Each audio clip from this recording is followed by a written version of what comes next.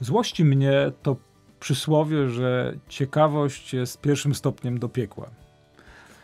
To jest bardzo nieprawdziwe e, przysłowie. Otóż bardzo wielu ludzi odnalazło drogę do nieba przez zwyczajną ciekawość. Na przykład spotykali swojego starego kumpla, starą kumpelę, nagle widzieli jakąś zmianę w nich. I pytali, hej, skąd ty to masz? Wiesz co, no, jestem w takiej a takiej wspólnocie. E, jeśli chcesz, to zajrzyj do nas. Zobaczysz, co my tam robimy, jak się zachowujemy, e, czego szukamy, jaki jest styl naszych wzajemnych relacji. I mnóstwo ludzi ze zwykłej ciekawości, no co mi szkodzi, pójdę i zobaczę.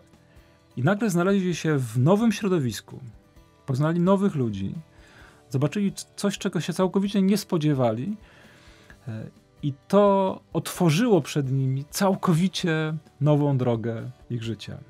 Wygląda na to, że Zacheusz dzisiaj po prostu z ciekawości włazi na to drzewo i chce zobaczyć Jezusa.